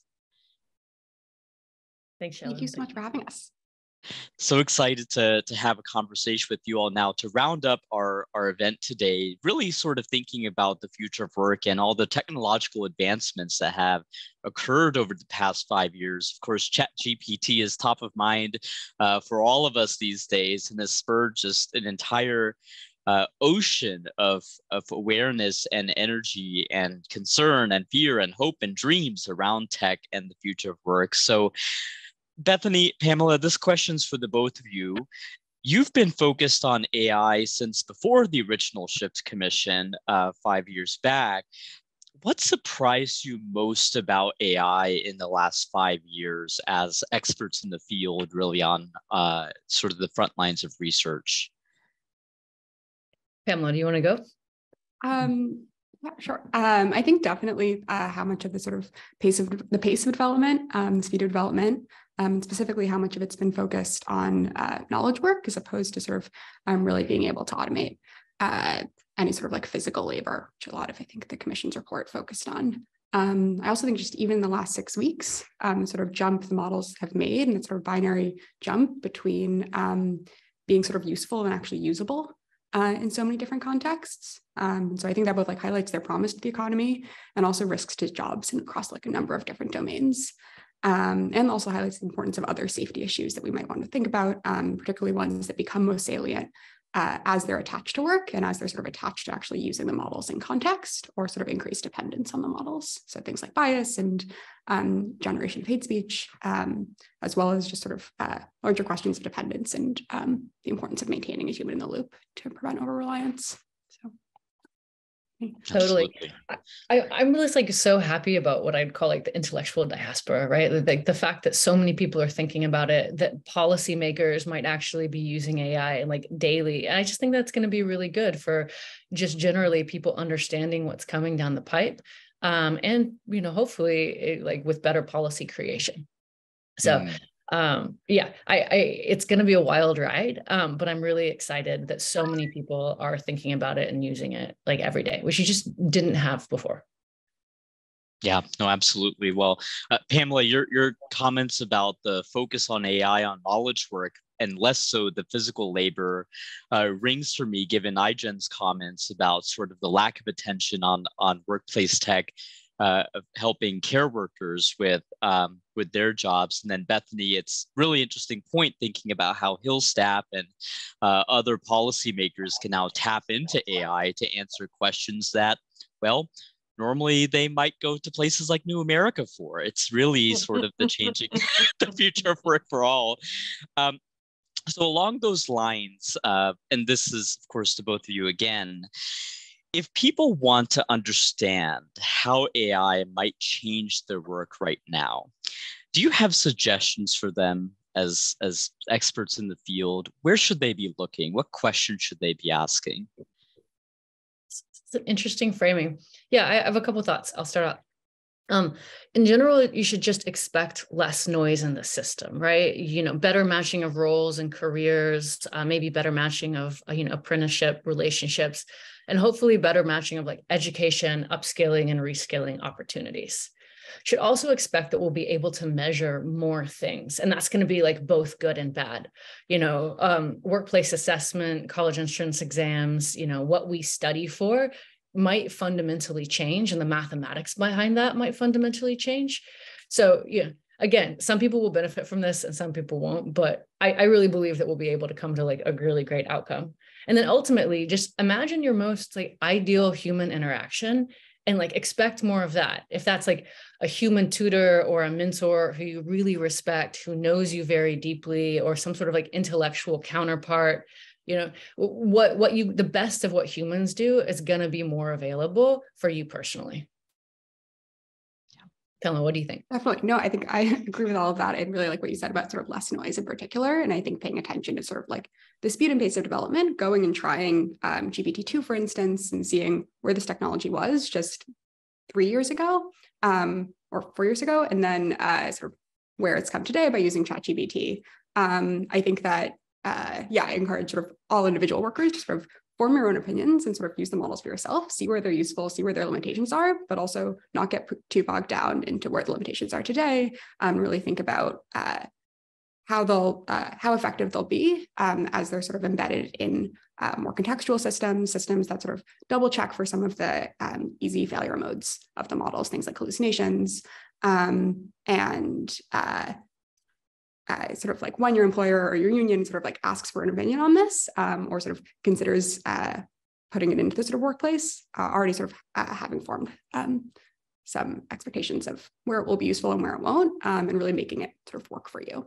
Yeah. I mean, you know, we have to remember that like almost a billion people are already talking to chatbots like every single day, even before ChatGPT came on the market. Like Xiaoice and, and Replika are these like agents that people use daily. And what we've seen is that people use them as intellectual mirrors right? They use them for cognitive learning, for emotional scaffolding, as well as just for those kind of like mundane, like querying and like search things. So, you know, we're going to see some displacement of human relationships. We're going to see some stimulation of human relationships. And I do think it's kind of up to each individual and each organization to like help teach people how they think it might be best designed into their workflow and into their like social network. Yeah, no, absolutely, and and I, I love the the sort of framing that that you all used about um, you know AI in work actually being maybe an opportunity for more of the human presence to become more visible. I think oftentimes you know we see narratives sort of citing Daron Acemoglu's work on so-so automation and oh we're all going to have more kiosk counters with no people behind them and uh, you know things like that so um, it's it's it's good I think for us to surface the other side of that um, um, so my next question here is sort of thinking a little bit more about the application of AI to work specifically. Bethany, Pamela, what's what's on the horizon for us? What are we in for? Uh, how do you think AI will will change the nature of work in frontline roles in particular? Um, uh, Pamela, thinking about more of those sort of physical uh, oriented jobs, maybe in retail, transportation, in these other industries. Definitely. Um, I think these are some of the jobs that might change the least, at least in the short um, to medium term. Um, is at least like the sort of evidence we see so far. Um, but I also think some of the ways that they might change those jobs is in kind of making them better. So if we think uh, about going from sort of more long haul trucking to short haul or like last mile trucking, um, that's a much better job. You can sort of stay close to your family. Um, you can sort of work shorter hours, mm. more predictable hours. Um, and that's that. I think if we can sort of figure out how to build those kinds of tools, that's um, an exciting development.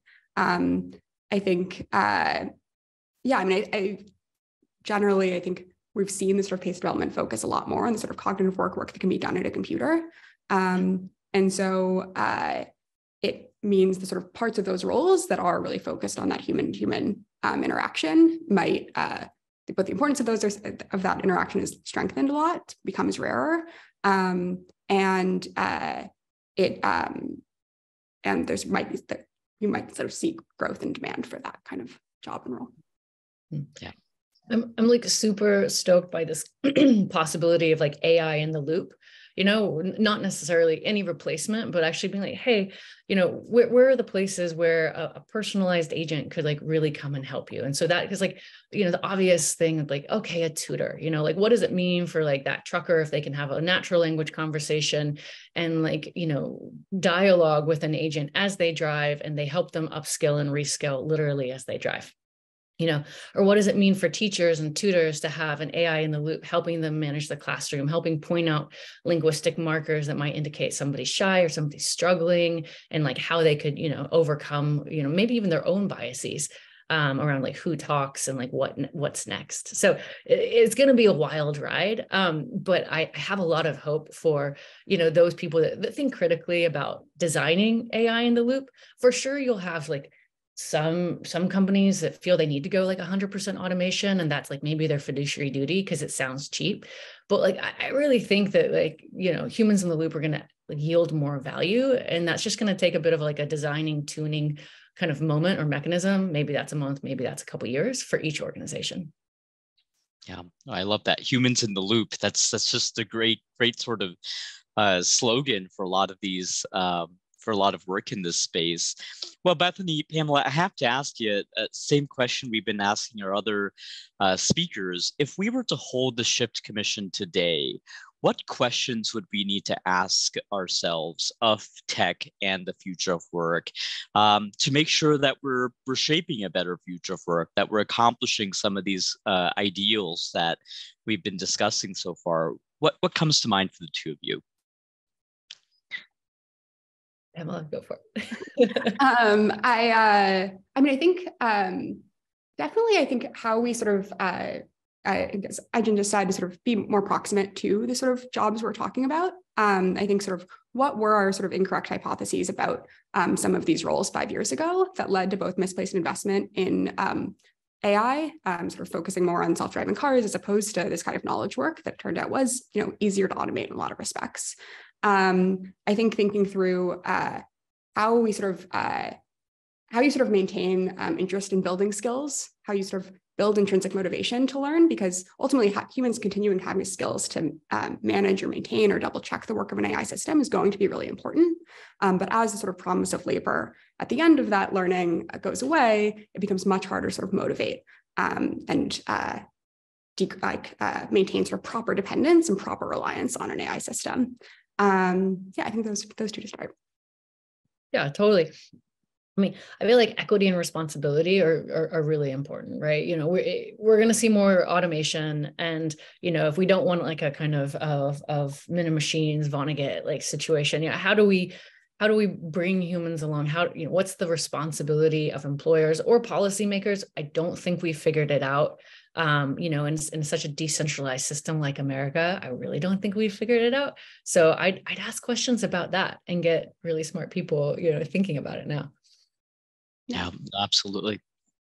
Pamela? I think understanding what uh, you know, so much of our uh, self worth is tied to work today, and um, understanding uh, how we actually sort of replicate that um, as that work changes or goes away, um, and how we sort of make these transitions kind um, to workers, assuming they sort of will take place, um, and maintain that kind of stability um, that it matters so much to people, as the commission showed. Uh, I think it's going to be really important. Yep, absolutely. Gosh, I have so many more questions, but unfortunately, we're uh, running tight on time. So uh, I, I just thank you both for uh, taking the time to speak with us. Any final takeaway uh, thoughts, questions that you'd share with our audience here about the future of work and, and AI and tech? Sure. Um you know we kind of have the chance to reimagine the whole system right? Like right now we are living with a lot of like industrial era like legacy decisions um, that were based on kind of uh, compute you know poverty resource poverty that we just don't experience right now. Um you know and we could just replicate like what we have or we could think about like designing something that works slightly better for society. And yeah the, you know that sounds far-fetched and it might take coordination across multiple levels but that's like what's really exciting about right now. Definitely. I think um, you know every job is likely going to change the next sort of few years, um, and uh, how we sort of maintain worker power in those decisions and in those discussions, um, how we sort of make sure that we're maintaining democratic values that might uh, you know shape how like a participatory uh, methods of sort of building these systems. I think will be really important. Um, I'm really excited about those efforts. Yeah absolutely. So much for us to, to think about and do as we move forward uh, in in this future for work realm that we all live in. So bethany pamela thank you again so much for joining us. Really appreciated your insights for our next segment, we will be turning to, to audience Q&A. Uh, so again, please feel free to put your questions in, in the Slido chat and we will be turning to them shortly. We're going to have our first uh, um, question come from our colleagues at Charter. Kevin Delaney is here with us. But before we turn to Kevin, we do have Roy Bahat coming in one more time with a video uh, to help close us out. So I will turn to my events colleagues to uh, pull up Roy's video, and then we will turn to Kevin to kick off our Q&A. I want to end by sharing one last thought, which is what this work meant to me. It gave me, in my own attempt to understand work, two forms of medicine that I still carry with me. The first is that instead of my usual habit, which is talking, trying to convince people of something and learning through debate, I a little more often find myself listening to learn especially listening uh, to those who are different from me, politically different, ideologically different, socioeconomically different, demographically different, whatever form of difference. And that desire to sit down across difference and make it a successful um, exchange is something that I learned through the Shift Commission just doesn't happen automatically, that we need to labor to create a container for it and struggle to figure out the circumstances. And that's something that I hope that we, and New America and all of you uh, will be doing for years to come. So thank you for joining us. Fantastic. Thanks so much, Roy, for sharing those comments with us. And to kick off, uh, we're really excited to have uh, Kevin Delaney from Charter with us uh, to uh, get us going. Uh, Charter is a fantastic resource for covering all things the future of work. I've learned so much, Kevin, from uh, your team's newsletter. There's so much wisdom in it. So certainly encourage our, our colleagues in the audience to to join in. So, um, Kevin, turning to you to help kick off our, our Q&A period uh, here, um, what, what, what questions do you have for us as we've reflected on yeah. the Shift Commission? Ellen, thank you so much and uh, awesome discussion. I like the note from the last panel where we had Bethany and Pamela talking about the exciting possibilities, but the importance of maintaining worker power and democratic values as we navigate this. I sort of, it's one of the things that will stay with me. I want to go back to the beginning. I have a you know I have a question for you both, and it starts with where Anne Marie started this conversation and her takeaways slide, the initial one. And her first bullet point, which was about the need to re-examine employers' central role in society. And we've seen this particularly over the last few years. There really is, is not a lot of consistency in the expectations and in the practice of what employers provide. And you can think about areas like mental health. Employers, most employers didn't think of themselves as mental health uh, providers for the most part, but in fact, that's become a core part of how they're able to support their uh, their employees. Childcare is an issue that's come up in almost every discussion today. It's another area where employers recognize that that their uh, their employees having access to good, affordable childcare is key to their successes, businesses increasingly. So I, I think one of the issues, and this is my question to you, one of the issues is that they, we as a society haven't updated the expectations of what employers need to provide to their workforces. Where does the line between what society provides, what government provides, what unions and other uh, other organizations provide, and what employees provide? We've just sort of um, had this kind of uh, seep into a, a, world where where it's clear that there are these needs, and these needs have intensified the last few years to support employees. Um, but what are what are realistic expectations? You know, again, another area uh, speaking up on societal issues such as voting rights and reproductive rights. Very few companies, probably 10 years ago, would have thought of that as part of their own responsibilities. But it's clear that employees expect that of most employers these days. And then the so what is how do we completely move this conversation forward to have a common understanding and expectation of what employers should provide? And paired with that is how do we how do we make sure that the government and our shared communal responsibility for these areas are defined and fully realized as well? And again, childcare is is an issue where it's clear training is another issue where it's clear that the effort, efforts of individual employers are not probably capable of solving the problems at scale. So I'm going to, that's my question for you. Expectations of uh, employers, it goes back to Anne-Marie's first point. Um, how do we move this forward uh, in, in concrete ways? I'll take the first crack. And I spend a lot of time thinking about this question as the head of a nonprofit and I, I honestly don't understand why American business, private sector, and as well as, as nonprofits, but private sector does doesn't just rise up and demand universal health care and childcare. I mean, the the tax that if we compare what companies in other countries, uh, you know, are able to do because there's universal health care or childcare rather than having to pay that yourselves every year. And it just goes up and up and up. Uh, it, it, it, really the the politics of it do not make sense to me. I mean, I understand the insurance company's view, although even there, the system is so Byzantine. Uh, but I don't understand why corporate America is not demanding uh, universal health care and care and infrastructure of care to level the playing field of competition with their foreign counterparts. So, so that's a starting point.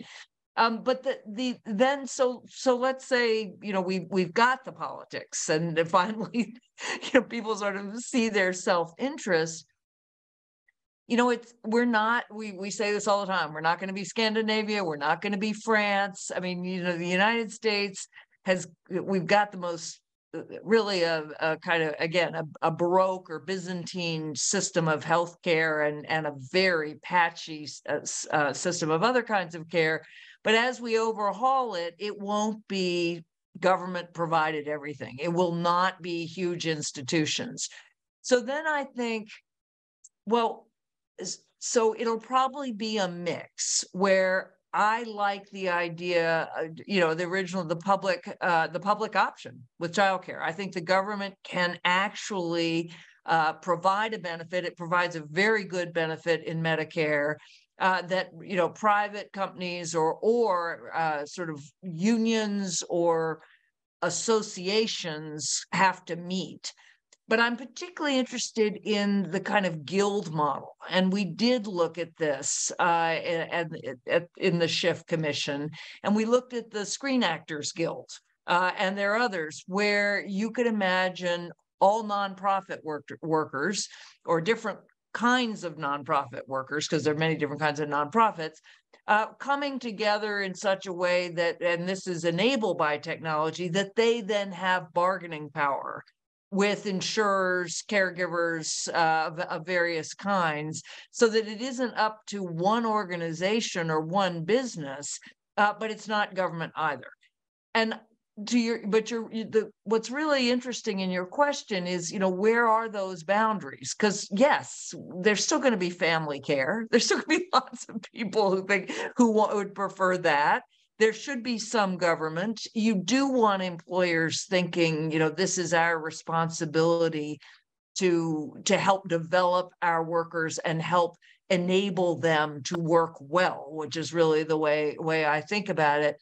I suspect that those boundaries will be drawn quite differently in different states and that we'll have a lot of experimentation, maybe at the municipal level, certainly at the state level, before we get to anything that looks like some kind of federal equilibrium. But Shalin, you're you you have a very different perspective, or you come at these issues from a different place. So I'd love to hear your your thoughts.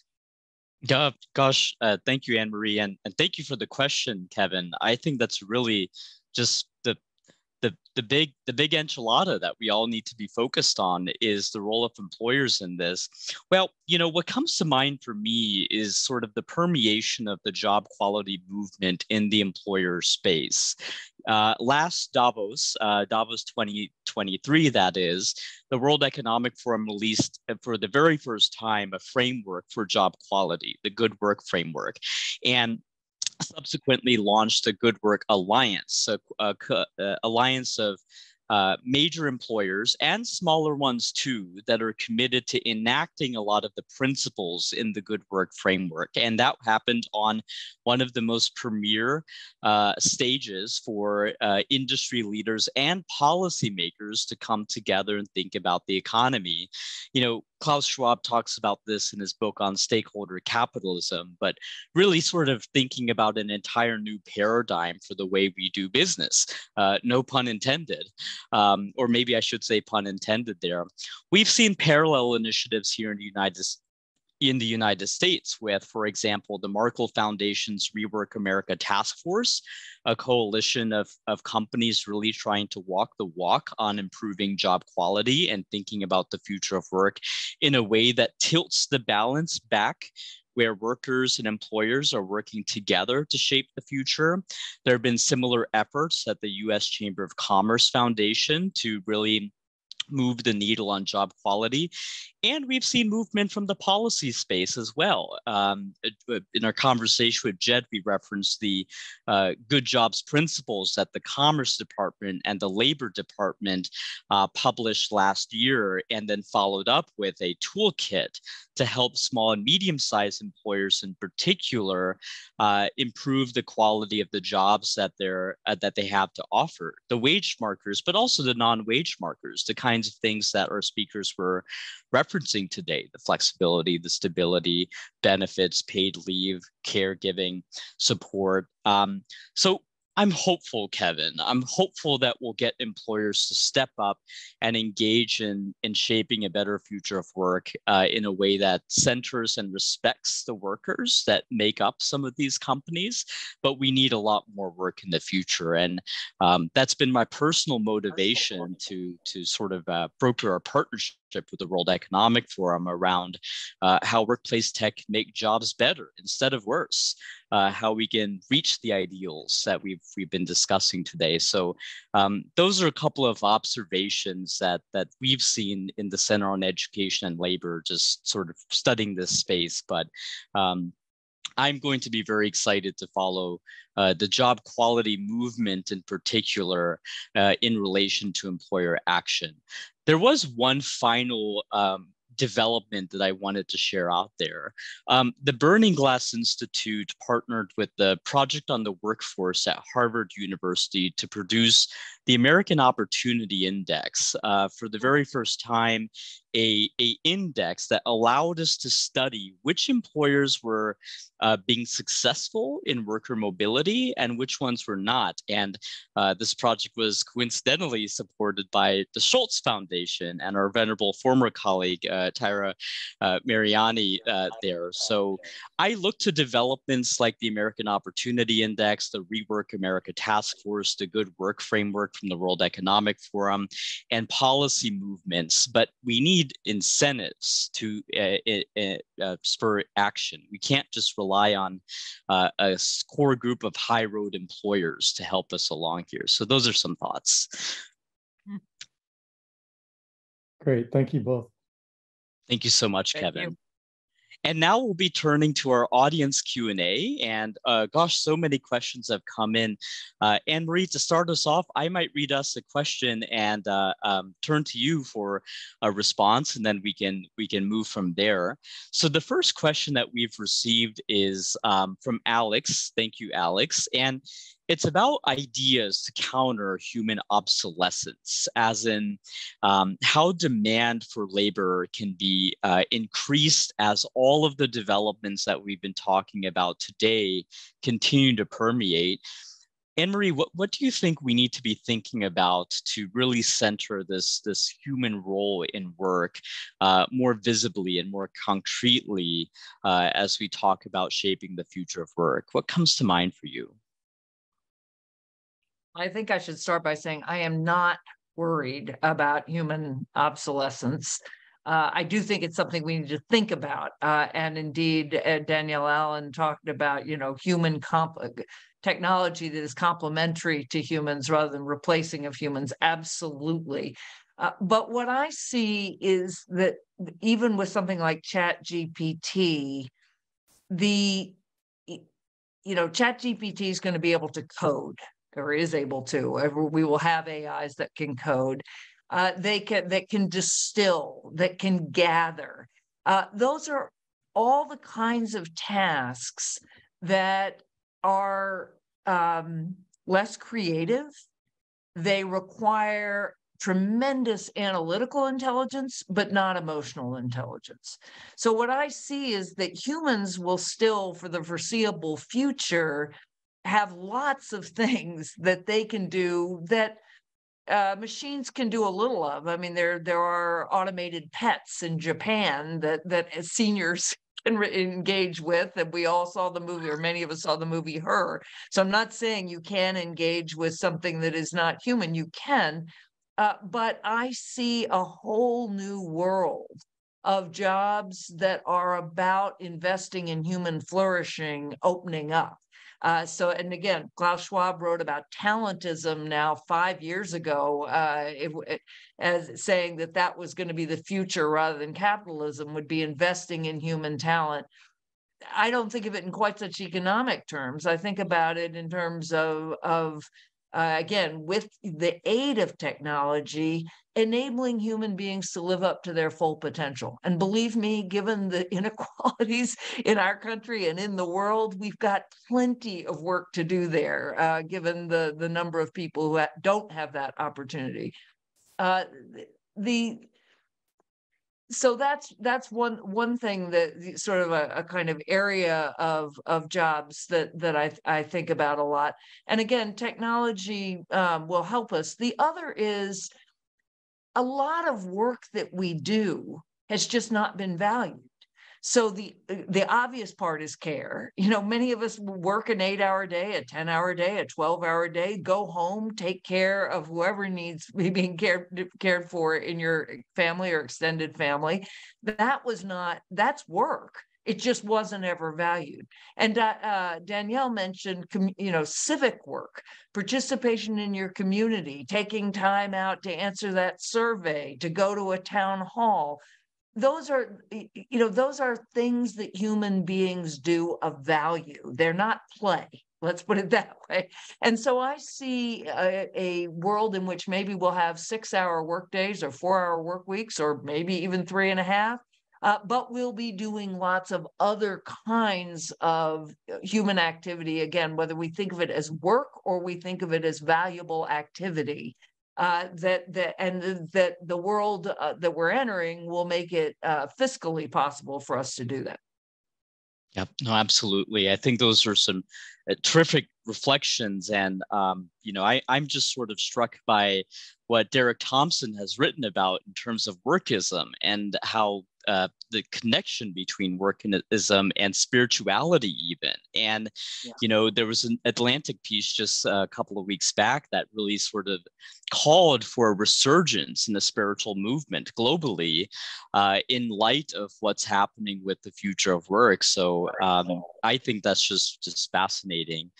And i'd be remiss if i didn't point out that uh, uh, our team at New America is also partnering with uh, the Center on the Future of Being Human at Arizona State University for a series of discussions, uh, sort of small meetings where we really think about what will it mean to be a human being in a hundred years? If we didn't have to work, what would we do? Who would want us to do what and why?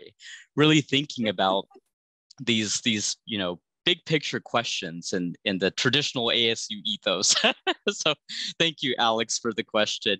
Um, we have time for a couple of more questions, so I will turn on to the next one, Anne Marie. Um, so the next question we have here is from Greg. Thank you, Greg. Um, how will higher education need to adapt given the findings of the Shift Commission, especially for older workers who need to reskill? Oh gosh, love this question. Um, Anne Marie, to you first. Oh my, well, for the, uh, you know, I spent the first 20 years of my career, uh, first as a law school professor and then a professor of public and international affairs.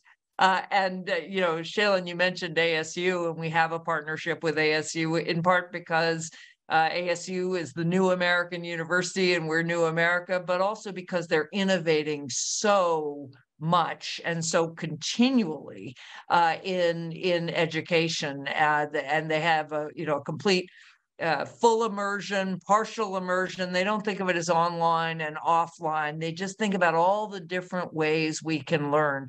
I think we are in for an educational revolution that is uh, certainly comparable to adding high school, which was sort of the marker between the, the agricultural age and the industrial age, at least in the United States uh, and many other countries where we needed, we realized that eight years of just learning to read and write is not enough. Well, now we're going to um, realize that, as you said, there's kind of got to be rolling learning. And lifelong learning, I don't think quite captures it because it's more um, you know you may be learning while you're on a job you know for the next job. You may also be learning in very different ways. I mean kevin carey the head of the, our education policy program wrote a wonderful piece and it really is thought about what about education in the humanities? How many of us wish you know that we had we could have taken a course in art or music or literature of so many different kinds? And that that should not be restricted to some elite that gets to go to a liberal arts college. You know, human beings the world over respond to literature and music and art and many, many different kinds of craft. Even as I think about, you know, YouTube videos now and how my children you know they have a universal constant university uh, or so I, I don't think we can predict uh, uh, except to say it'll get a lot cheaper. There will be, and we heard, um, I think it was Danielle again who said, and she's from Harvard, but talking about stackable credentials, many kinds of certificates. I think we like some structure. I don't think that just big, you know, internet courses where you do it for your own. No, it's more satisfying like a game to say, I'm going to learn this amount, I'm going to be certified in some way but we're just knocking on the door of an educational revolution. Absolutely. I, I think that's exactly spot on. And just drawing on some recent research from our own Center on Education and Labor, uh, we just released a series of reports on uh, how to get non degree workforce education right at community colleges. And there's been so much work on affordability of community college level education and the importance of that, of, of renewing the promise of education and helping us reach the American dream and bringing that back to play. Um, so I think that's really terrific. And it's interesting you mentioned YouTube. I, I also read that Arizona State University has a new partnership with YouTube and Coursera in which many, many millions of just casual viewers who learn by looking things up on YouTube are able to now get course credit through this partnership with Arizona State University. Um, so truly a, a, a, disruptive moment, but um, hopefully for the better. That means my younger son is going to be PhD qualified. Dual enrollment. The number of hours he spends he has spent on YouTube. Absolutely. Yep. Dual enrollment uh, 2.0 here. Um, yep. Well, so our next question comes from Jennifer. So thank you, Jennifer. Um, so will the future of work also require deeper human relationships in certain industries like healthcare, for example, um, to address the growing challenges? And, and Jennifer cited mental health in particular, uh, human challenges needing a human touch. Um, gosh, this is this is I know core to so much of what we do here. Anne Marie, thoughts on on the shifting nature of human relationships and work, and um, what we should be thinking about? Yeah, and Shalin, you and I have talked about this quite a bit. Uh, as I define, as I think about care, uh, I think the essence of care is the relationship between the, the caregiver and the person who's cared for. So it's not a service. We classify it as a service because we have an, uh, our economic uh, measurements look at goods and services and how many of each are provided. But the service, you know, could be feeding, bathing, dressing, driving. There are many things that go into care. That's the platform for an interaction between two human beings. And it is the nature of that interaction that matters. I often use the example of when you're bathing a child, yes, you're bathing the child, but what you're you're really doing or what you should be doing if you're you're giving good care is talking to that uh, child about you know whether, whether you're asking questions, you're you're playing games, you're engaging uh, uh, with and that's true for any activity that if we think about that more broadly, you can think of an entire relationship economy. And you think about all the coaches, again, building human potential. There's, you can have a coach for anything now, uh, you know, health, nutrition, uh, work, leadership, you name it. Uh, you can have a coach, you can have a mentor, you can have an advisor, you can have a navigator, obviously, teachers. So I see a huge economy opening up that I would, it's based on the relationship between human beings. Care is, is the biggest example, perhaps now, but only one. Uh, and there, I think, again, we haven't studied what makes that relationship really work. Or we have from different disciplines, but not in the context of what that would look like as a source of value in an economy. Yeah, absolutely. I, I love the the term relationship economy, and it, it also brings me back to our our prior question and sort of how we can operationalize this this lifelong learning, but really more than that, really sort of how do we build a relationship economy around self actualization in lieu of a lot of what we we would do normally in in the years past. So I think that's really a, a, great point. And the other thing that comes to mind for me with respect to mental health in particular, and, and this hasn't come up as much in our conversation, so I, I just wanted to name it in that um, many of our mental health challenges are a result, a byproduct, an inadvertent byproduct, but a byproduct nonetheless of technology. Uh, some of that is at work. Uh, somebody had mentioned Slack and Zoom and Zoom fatigue and Slack fatigue and um, all of the, the pain points that arise there, but also with social media and, and other forms of consumption. The consumption economy has become very powerful. And, you know, just as we think about the promise of technology for work and, and play and, and self-actualization, um, I, I channel my uh, uh, ASU colleagues in thinking about the risks and how to mitigate those unintended risks of uh, technology at play as well. So, so that comes to mind for me as well here. So our next question uh, comes from Peter. Thank you, Peter. Uh, and this is also really tied to, to uh, education, Anne Marie. So how should secondary education, in particular, uh, career and technical education change given how technology has evolved over the past two, three years? So that's really interesting, sort of thinking about, you know, tech within the workforce development ecosystem, community colleges and the like, um, and uh, skilled trades training, the apprenticeship infrastructure, all of the uh, workforce development programs we have to equip folks with the skills they need for these sort of middle skill, uh, skilled technical workforce jobs. Um, what comes to mind for you there? So I'm going to toss that one to you first, Shalin. You know much more about that than I do. Uh, so I'm going to have you answer and I will come in. Sure, sure. Well, I, I think this is really fascinating question. I, I, I think I think tech in higher education has gotten a well-deserved a bad rep. Uh, we've seen MOOCs, we've seen a number of hype cycles with um, uh, online education. And I think a number of observers and analysts and researchers are very skeptical about technology in the classroom. And especially when it comes to uh, the career technical education space, where a number of these programs are shorter, more directly tied to discrete employer needs. Um, I actually see that there's been a little bit of a lag of thinking about how technology can de- be deployed to improve the quality of education and workforce training in CTE. And also thinking about outcomes. There's two examples that come to mind for me in particular.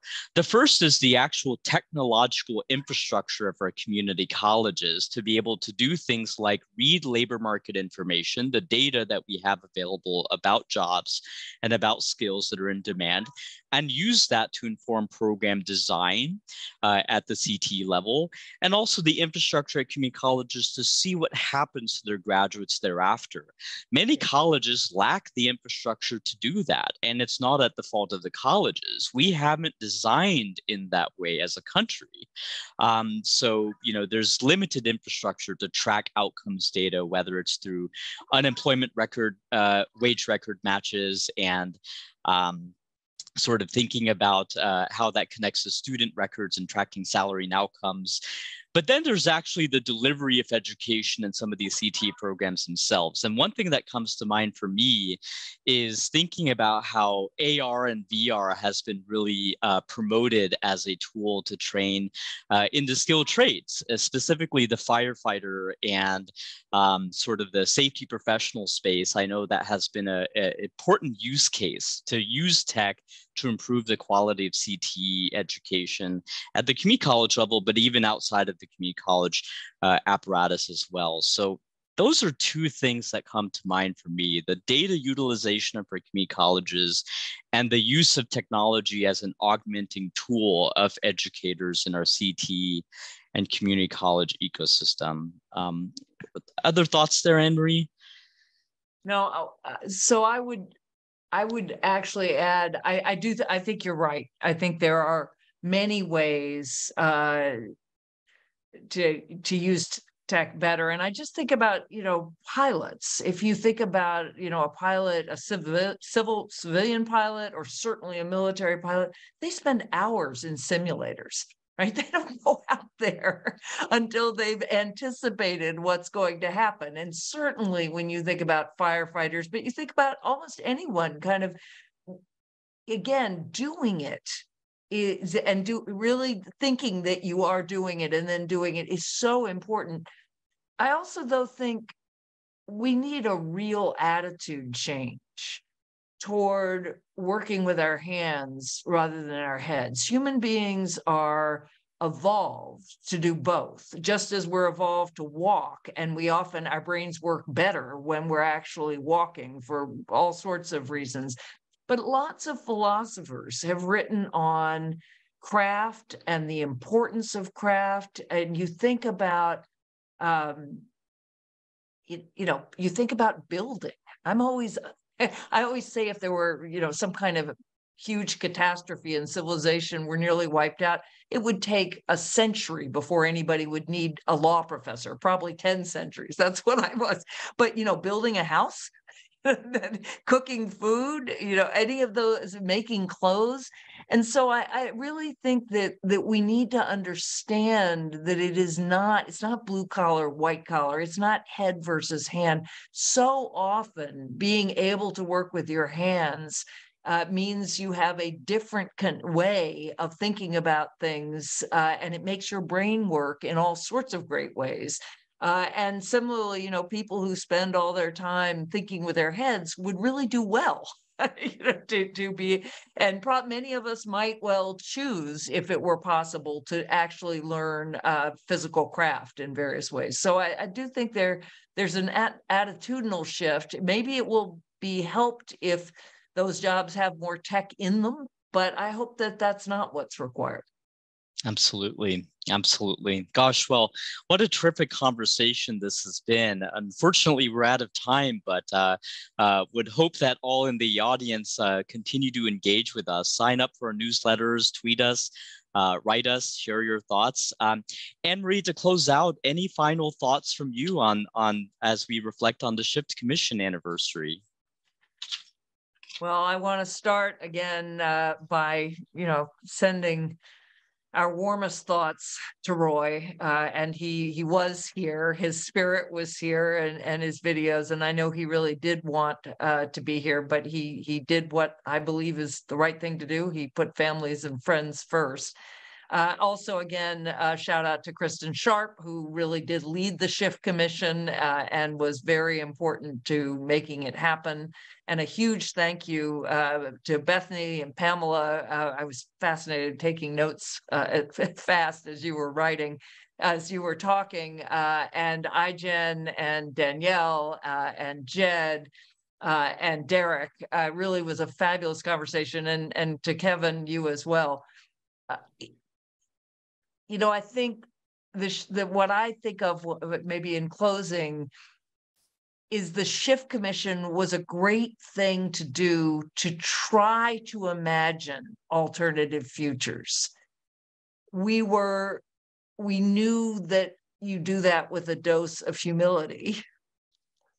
We even so didn't come close to imagining the pandemic. So I think I, I would leave us with mm, here too we should be grappling with what the limits of our imagination and and bethany and pamela you said you know we can reimagine the whole system. But if the shift commission is shift commission teaches us anything it's that in 2028 we'll be looking back thinking god we could have never imagined that so with that, uh, thanks and thanks, Shalin, to you and to Mary Alice uh, and to all of the New America team that made this possible. Uh, and it's been a pleasure uh, having this conversation, and we're grateful to all of you who are participating and watching online. Thanks so much, Anne Marie, and thank you all for joining. It's been a terrific conversation.